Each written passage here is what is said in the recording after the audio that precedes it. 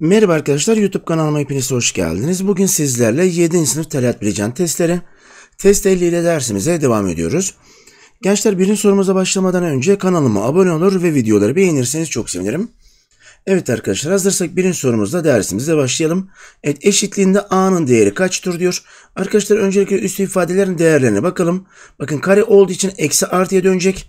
O halde 1'in karesi 1 bölü 2'nin karesi 4 artı eksi 1 bölü 2'nin 3. kuvveti 3 tek sayıdır gençler eksi kalacak. 1'in 3. kuvveti 1 2'nin 3. kuvveti 8 Evet öncelikle bu işlemimizi yapalım. Bakın paydaları eşitlemek için 2 ile genişletiyorum. 2 bölü 8 evet artı ile eksi çarparsam eksi 1 bölü 8 buradan 1 bölü 8 olur işlemimizin sonucu. Peki bu a bölü 8'e eşitmiş. Bakın paydalar eşitse o halde a'nın değeri buradan 1 olur diyoruz. Ve 1 cevabını B şıkkında doğru yanıt olarak işaretliyoruz. Evet ikinci sorumuzda Evet yine işlemin sonucu kaçtır dedi. Hemen şöyle yanında öncelikle üst ifadelerin değerlerine bakalım. Evet kare olduğu için artıya dönecek. 1 bölü 1'in karesi 1. 3'ün karesi 9. Arada çarpma işlemi var. Eksi 3 bölü 4'ün 3. kuvveti. 3 tek olduğu için eksi kalacak. 3'ün 3. kuvveti 27 bölü 4'ün 3. kuvveti 64.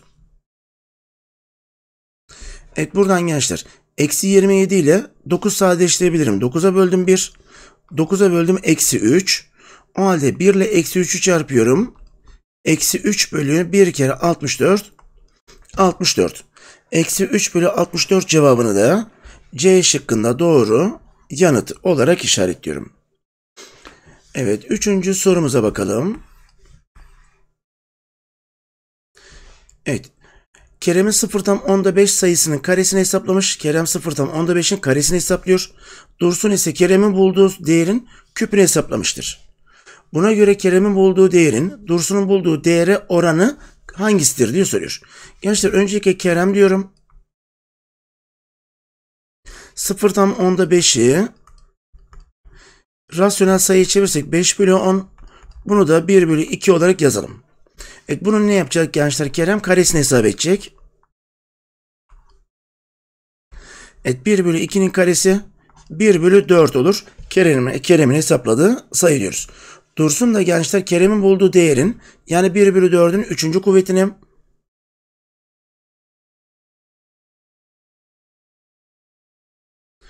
1 bölü 4'ün küpünü hesaplıyor diyor. Evet 1 bölü 4'ün 3. kuvveti 64'tür. Evet Kerem'in bulduğu değerin Dursun'un bulduğu değeri oranı demek gençler. İki çoklu birbirine böleceğiz. Kerem'in bulduğunu Dursun'un bulduğuna böleceğiz. 1 bölü 4 bölü 1 bölü 64. Evet bölme işleminde ne yapıyoruz gençler? Birinci sayımızı aynen yazıyoruz.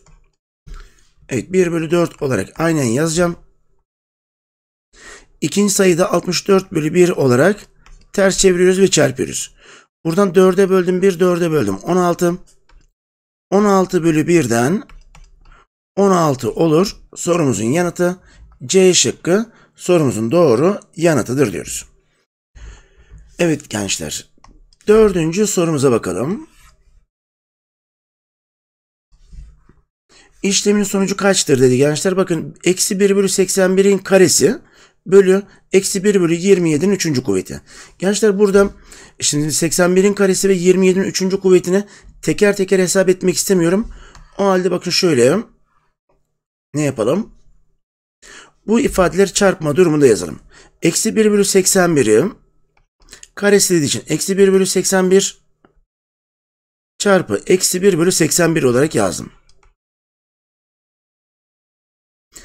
Evet burada gençler bakın bölme işlemi olduğu için şimdi öncelikle şu eksi 1 bölü 27'nin 3. kuvvetini gösterelim. Eksi 1 bölü 27 çarpı eksi 1 bölü 27 çarpı eksi 1 bölü 27'dir. Şimdi gençler burada bakın bunu bölme işlemi olduğu için ters çevirerek çarpma durumunda yazmak istiyorum. O halde hepsini ters çevirirsem eksi 27 bölü 1 çarpı eksi 27 bölü 1 çarpı eksi 27 bölü 1. Buradan gençler öncelikle işaretleri çarpalım. Bakın 5 tane eksi çarparsam evet 5 tane eksi çarparsak sonuç eksi olur. Şimdi 81 ile 27'yi sadeleştirirsem 81'im 27'ye böldüm 3 27 27 bölüm 1. 81'i 27'ye böldüm 3 27 27 bölüm 1. Gençler bakın payda da 3 ve 3 kaldı. Pay kısmında da 27 kaldı. O halde 3 kere 3 9 yapar. 9'a 27'yi sadeleştiririm. 9'a böldüm 1. 27'yi 9'a böldüm 3. Evet ne kaldı gençler? Pay kısmında 1, 1 ve 3 çarparsam eksi 3 bölü payda da 1 var. Bunu da eksi 3 olarak evet nerede görüyorum? B seçeneğinde doğru yanıt olarak görüyorum. Evet devam edelim. Beşinci sorumuza geçelim. Evet öncelikle gençler sıfırdan farklı bir rasyonel sayının sıfırıncı kuvvetinin 1'e eşit olduğu ile bilgimizi vermiş. Evet işlemin sonucu kaçtır diyor arkadaşlar. Bakın burada sıfır çift sayıdır gençler. Çift sayı olduğu için sonuç burada parantezin, içinde, parantezin içindeki sonuç artıya dönecek. Ama önünde eksi var gençler unutmayacağız. O halde ne yapacağız bu işlemin sonucuna artı 1 diyeceğiz. Evet önüne eksi yazdım. Artı 1 artı. Eksi 1 bölü 3'ün karesinde. Kare olduğu için artıya döndü. 1'in karesi 1. 3'ün karesi 9. Çarpı eksi 3 bölü 2'nin 3. kuvveti. Evet 3 olduğu için gençler eksi kalacak. Eksi 27 bölü 8. Evet gençler şu eksi ile artıyı çarparsam eksi 1 olur. Artı. Burada çarpma işlemi yaparken 9'a böldüm 1. 9'a böldüm. Eksi unutmamak için yazalım. Eksi 3. Evet, 1 ile eksi 3'ü çarpıyorum. Eksi 3 bölü 8 olur. Buradan gençler gizli paydası 1 var der. Eşitlersem eksi 8 bölü 8 artı eksi 3 bölü 8'den evet ne yapar gençler? Eksi 11 bölü 8 olur. Bunu da istersek eksi 1 tam 8 kere 1 8 3 daha 11 yapar. Eksi 1 tam 3 bölü 8 olarak yazalım. Şimdi baktığımız zaman cevaplarda gençler ondalık kesirler var. O halde 8'i 10, 100 veya 1000'in katı yapmak için ne yapalım? 125 ile genişletelim. Buradan eksi 1 tam 1000'de 8, 3 ile 125 çarparsam 375. Bunu da eksi 1 tam 1000'de 375 olarak yazarım. Evet bunu da D şıkkında doğru cevaptır deriz. Evet altıncı sorumuza bakalım.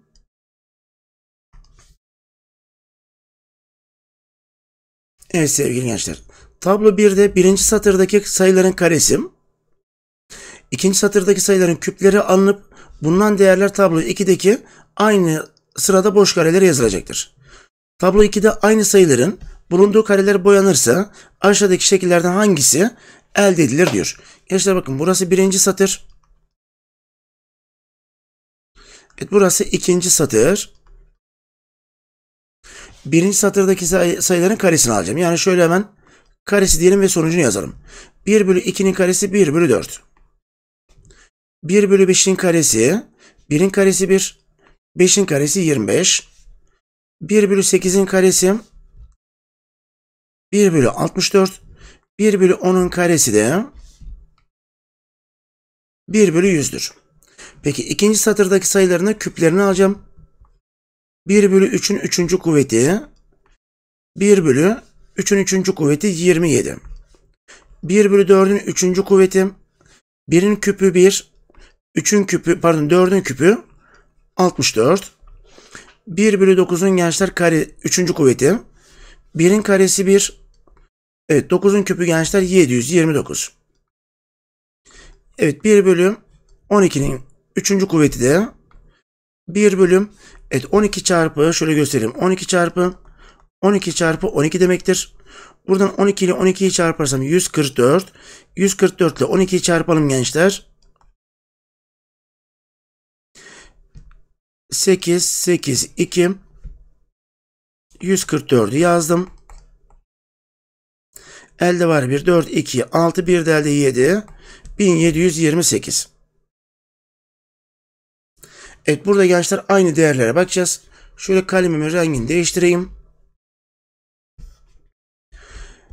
Evet. Bakın arkadaşlar burada 1 bölü 64'ü görüyorum. Burada da 1 bölü 64'ü görüyorum. O halde birinci satırdaki üçüncü sırayla ikinci satırdaki birinci pardon ikinci hücrenin boyanması gerekir. Bakın buradan C seçeneğinin doğru yanıt olduğunu söyleriz. Evet gençler. C'yi doğru cevap olarak gösterdik ve devam edelim. Bir sonraki sorumuza bakalım.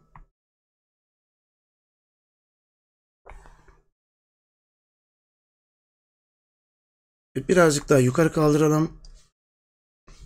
Aşağıdaki ifadelerin hangisinin değeri 0 ile 0 tam %25 arasıdır? Gençler 0 tam %25 biliyorsunuz 1 bölü 4'tür. Yani 0 ile 4, 1 bölü 4 arasında olduğunu soruyor. Şimdi değerlerimize bakalım.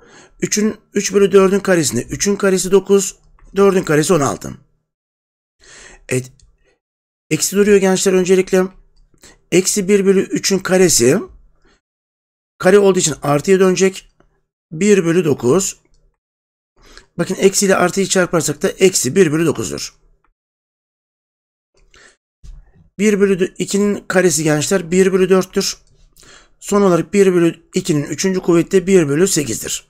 Şimdi arasında olacak gençler dikkat edelim. 9 bölü 16 gençler yarımdan da büyüktür eliyorum. Bakın bu negatif bir sayı eleriz. 1 bölü 4 zaten 1 bölü 4'e eşittir elerim.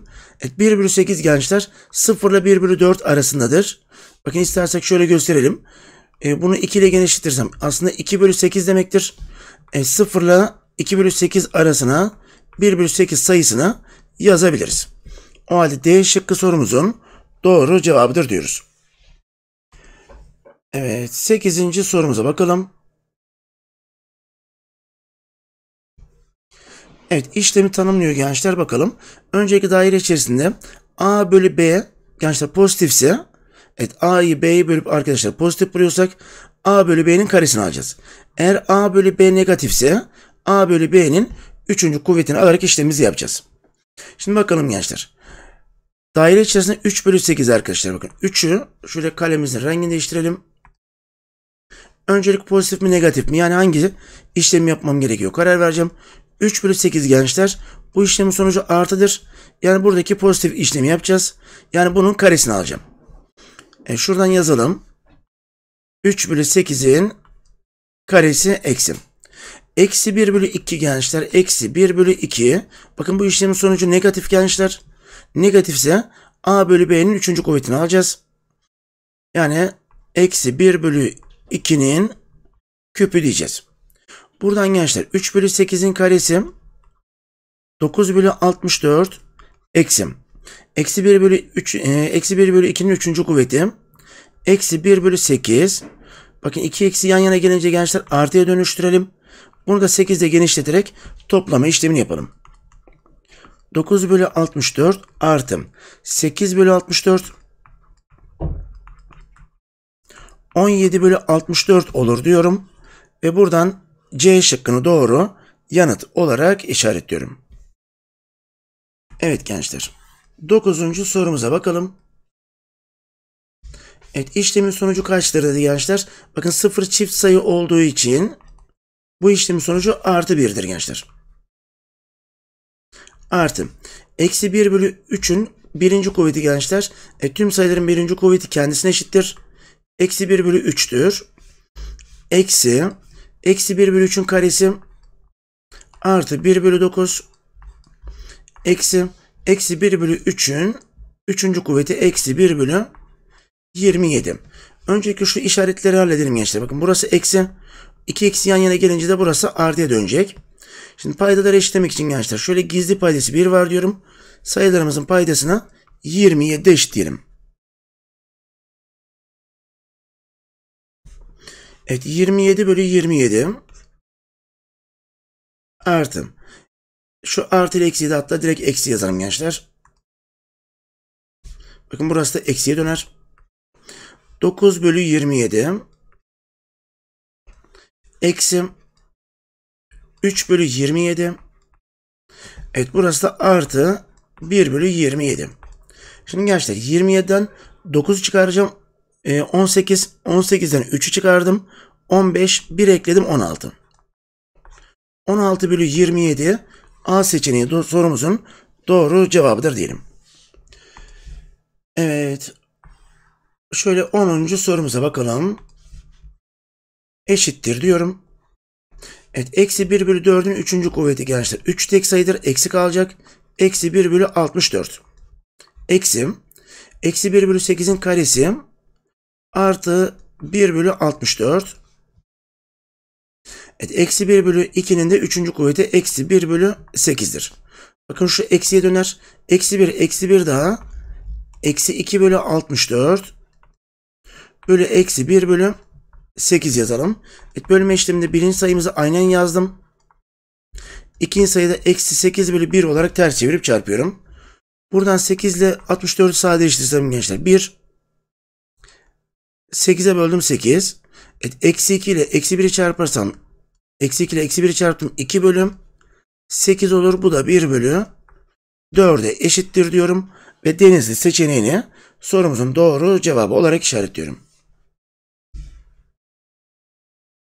Evet. Şöyle 11. sorumuza bakalım gençler. Buna göre bu sayı doğrusunda A, B, C ve D noktalarına karşılık gelecek sayılardan hangisinin herhangi ikisinin kareleri toplamı aşağıdakilerden hangisi olamaz diyor. Evet gençler öncelikle sayılarımıza bakalım. A'nın değeri 0 ile eksi 1 arası 1, 2, 3, 4, 5 parçaya ayrıldım. Solda olduğu için eksi 1, 2, 3, 4. B'nin değeri yine 5 parça. 1 ikincisi eksi 2 bölü 5. C'nin değeri 0 ile 1 arası 4 parçaya ayrılmış. C birinci adımda 1 bölü 4.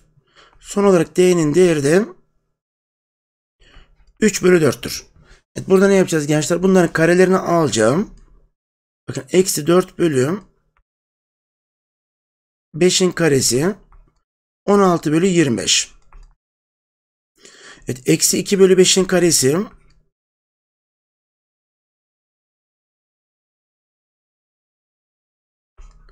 Dört bölü 25. 1 bölü 4'ün karesi gençler.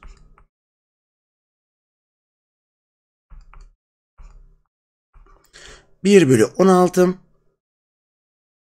Evet 3 bölü 4'ün karesi de 9 bölü 16. Şöyle kalemimizi değiştirelim. Evet burada ne yapacağız gençler? Bunların herhangi ikisinin toplamına eşit değildir diye soruyor. Şimdi gençler bakın burada ee, ne yapalım arkadaşlar? A ile B'yi, C'yi ve D'yi toplayalım. Ondan sonra devam edelim. Şimdi A artı B diye düş düşünecek olursak. 16 bölü 25 artı 4 bölü 24. Evet 16 4 bölü 25 pardon gençler şurası 25.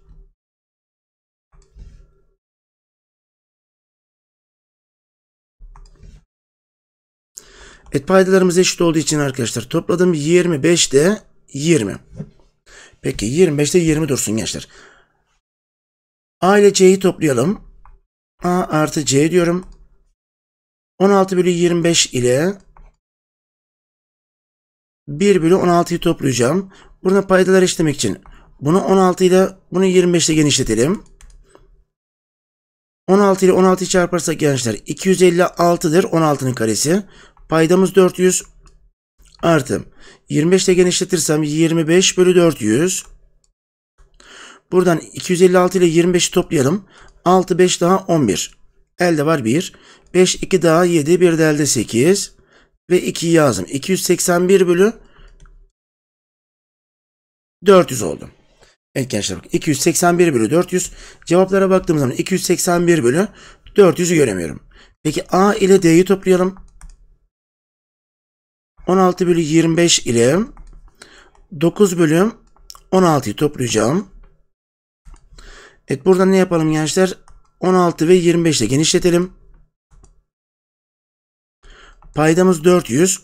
16'nın karesi 256 idi. Artı.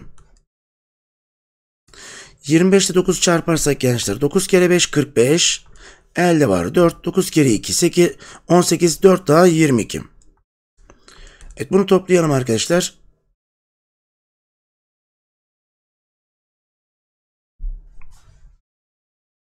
Evet 9 kere 5 45 elde var 4 9 kere 2 18 4 daha 225 toplarsam 6 5 daha 11 elde var 1 5 2 daha 8 1 de elde 9 Evet 2 2 daha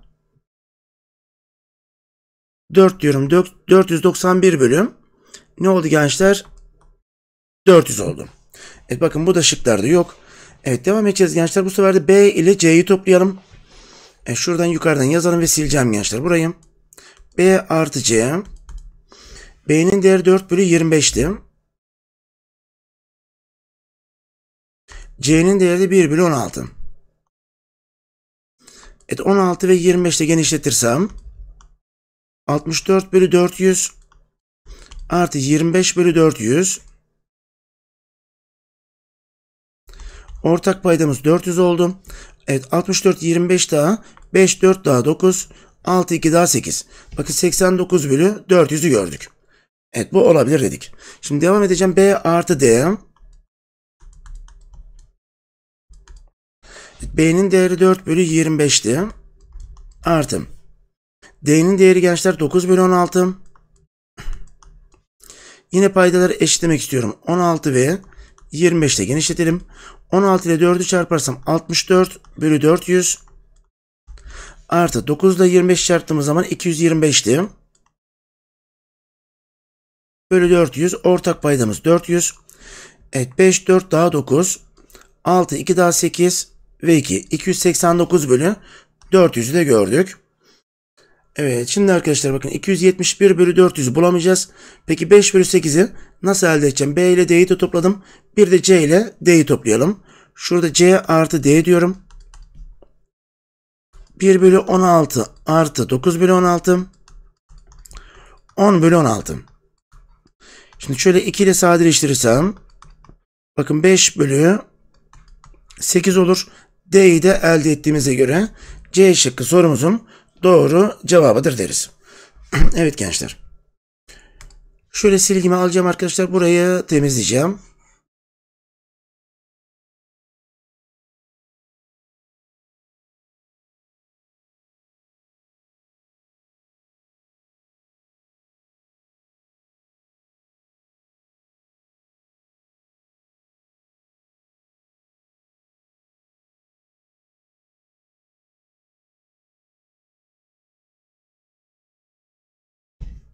E şu C artı D'yi de silelim.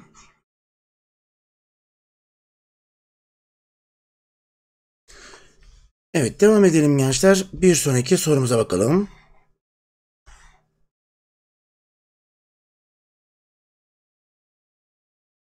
Evet 12. soruya geldiğimiz zaman işlemin sonucu kaçtır dedi. Gençler öncelikle kesirici çizgisini çizdim. Eksi 1 bölü 3'ün 3. kuvveti.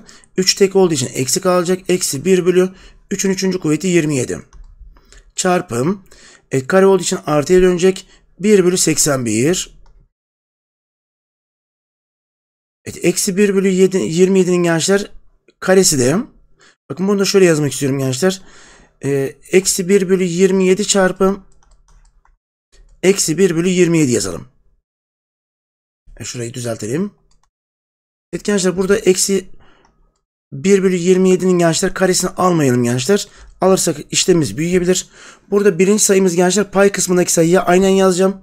Bakın şuradan yazalım. Eksi 1 bölü 27 çarpı 1 bölü 81. Evet, paydadaki sayıları ters çevirip çarpıyorum. Eksi 27 bölü 1 çarpı eksi 27 bölü 1 yazalım. Evet gençler. Bakın burada 1, 2, 3 tane eksi çarpıldığı için gençler sonuç eksi olacak. Şu eksileri artık görmeyelim. 27'ye böldüm, 27'ye böldüm. 1, 1. 27'ye böldüm 1, 27'ye böldüm 3. Evet, pay kısmında 1, payda kısmında 3 kaldı.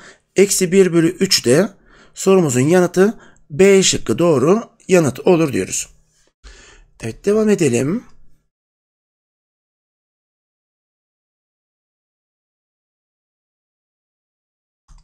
Evet gençler.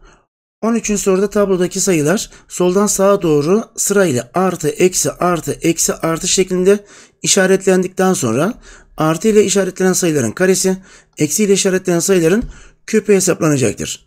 Buna göre yapılan hesaplama sonucunda aşağıdaki değerlerden hangisi bulunamaz? Şimdi gençler sırayla artı yazdım. Eksi, artı, eksi, artı. Şimdi artı ile olanların karesini alacağım. Yani 1 bölü 2'nin karesi 1 bölü 4'tür gençler. Evet bunu şöyle 25 ile genişletirsem 25 bölü 100 yani 0 tam %25'tir. Bakın D seçeneğini elde ettik. Peki eksi 1 bölü 4'ün evet, negatif sayının kuvvetini arıyorduk. Üçüncü kuvvetini. Eksi 1 bölü 64 oldu. Evet gençler burada eksi 1 bölü 64'ü ne yapalım gençler? 1'i 64'ü bölmemize gerek var mı gençler? Şimdi baktığımız zaman buradaki sonuçların hepsi artı arkadaşlar. Burada eksi olduğu için et bunu hiç hesap etmiyorum. Hesaplamama gerek yok çünkü sonuçlar gençler şıklardaki sonuçlar negatif değil. O halde şunu diyebilirim gençler. Bakın negatifleri hiç hesap etmeme gerek yok. Çünkü negatiflerin küpünü alırsam sonuç zaten negatiftir. Peki pozitiflerden 1 bölü 8'in karesine bakalım. Evet 1'in karesi 1. 8'in karesi gençler 64. Şimdi peki 1 bölü 64'ü nasıl arkadaşlar onları kesire çevireceğim. Şöyle 1'i 64'e bölebiliriz. Şimdi 1'in içinde 64, 64 yok. 1 0 ekledim. 0 virgül ekledim. 10 içinde 64 yok. Tekrar 0 ekledim. 0 ekledim. 100'ün içinde 64 bir kere. Bir kere 64. 64. Çıkardım 6 36. Evet 36'nın içinde 64 yok. 0 ekledim 360. Gençler 360'ın içinde 64 5 kere dersem. 5 kere 4 20 elde var 2. 5 kere 6 30 32. Çıkardım 40 aldım. 40'ın içinde yok 0 ekledim. E 400'ün içinde gençler 6 kere dersem 6 kere 4 24 elde var 2. 6 kere 6 36 2 daha 38. Tekrar çıkarırsak 16 kaldı. Evet buradan gençler şöyle 160 der. 2 kere dersek bu şekilde devam eder gençler. Bu böyle bir dursun. Evet, bir de 1 bölü 5'e bakalım. Şöyle karesini alacağım. 1 bölü 25'ten 4 ile genişletirsem 4 bölü 100 bu da 0 tam %4'ü elde ettim gençler. Evet bakın buradan arkadaşlar ne yaptık? 1 bölü 2 0 tam %25'ti. 1 bölü 8'in karesi gençler 1 bölü 64'ten 0.15'te devam ettim. Ama devam etti gençler. Dikkat ediyorsanız. Ee, ama 0 tam binde biri gençler hiçbir şekilde elde edemeyiz diyelim. Binde biri nasıl elde edeceğim gençler burada?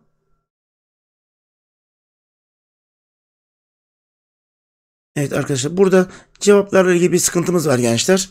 Evet onun için bu soruyu şöyle soru işareti bırakarak geçelim. Evet, binde biri de elde edemedim. Binde 15'te gençler direkt elde edemedim. Çünkü sıfır tam e, bakın 0, 15 ve 62 şeklinde devam ettiğini gördük. Evet gençler devam edelim. 14. sorumuza bakalım. Evet bir işlem tanımlanıyor gençler. Buna göre bakın dikdörtgen veya kare içindeyse gençler karesini alacağım. Altıgen içindeyse üçüncü kuvvetini alacağım. O halde 1 bölü 16'nın karesi diyelim.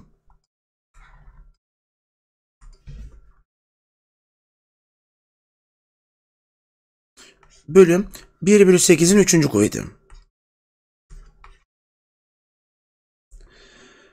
Evet gençler 1 bölü 16'nın karesi 1 bölü 256 bölüm 1 bölü 8'in 3. kuvveti 8 çarpı 8 çarpı 8'den 8 kere 8 64 64 çarpı 8 de gençler 512'dir. Şimdi birinci sayımızı yazalım. İkinci sayıda ters çevirip çarpıyorum. 512 bölü 1 olarak yazdım. 256'ya böldüm 1, 256'ya böldüm 2. 2 bölü 1'den 2 olur işlemimizin sonucu. E, D seçeneği sorumuzun doğru cevabıdır diyoruz. Evet devam edelim gençler 15. sorumuza bakalım. Aşağıdaki eşitliklerden hangisi yanlıştır diye sordu. Gençler öncelikle A seçeneğiyle başlayalım. Eksi 1 bölü 2'nin karesi 1 bölü 4 çarpı. 3 bölü 2'nin 3. kuvveti gençler 27 bölü 2'nin 3. kuvveti 8. Buradan çarpma işleminde 27 bölü 32. Bakın A şıkkı doğrudur. B seçeneğine bakıyorum. 5 bölü 3'ün karesi gençler 25 bölü 9 çarpı 3'ün 3. kuvveti 27 bölü 5'in 3. kuvveti 125.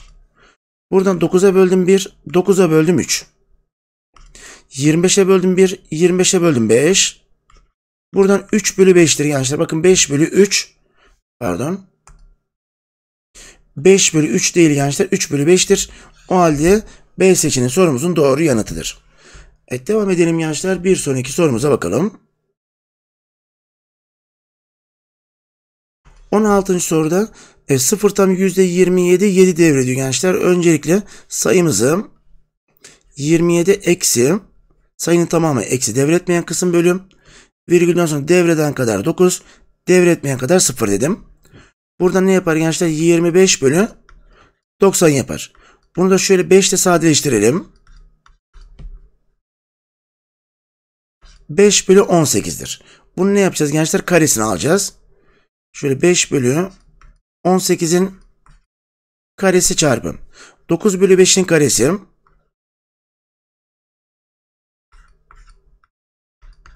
5'in karesi gençler 25 bölüm 18'in karesi 324. Veya gençler şöyle yapalım. E, büyük sayılara uğraşmak istemezsek gençler bunları çarpma durumunda yazalım. Bakın 5 bölü 18'i 5 bölü 18 çarpı 5 bölü 18 olarak yazdım. 9 bölü 5'i de 9 bölü 5 çarpı pardon 9 bölü 5 olarak yazıp sadeleştirelim. Bakın 5'ler 5'leri götürdü. 1 kaldı. Evet 9'a böldüm 1, 9'a böldüm 2. 9'a böldüm 1, 9'a böldüm 2. Şimdi pay kısmında 4 tane 1'i çarparsam 1 yapar. Payda da 2 kere 2 4 yapar. 1 bölü 4 de sorumuzun yanıtıdır diyoruz. Ve B şıkkını doğru yanıt olarak işaretliyoruz. Evet gençler bu soruyla da dersim burada bitiriyorum. Bir sonraki derste görüşmek üzere. Kendinize iyi bakın. Hoşçakalın.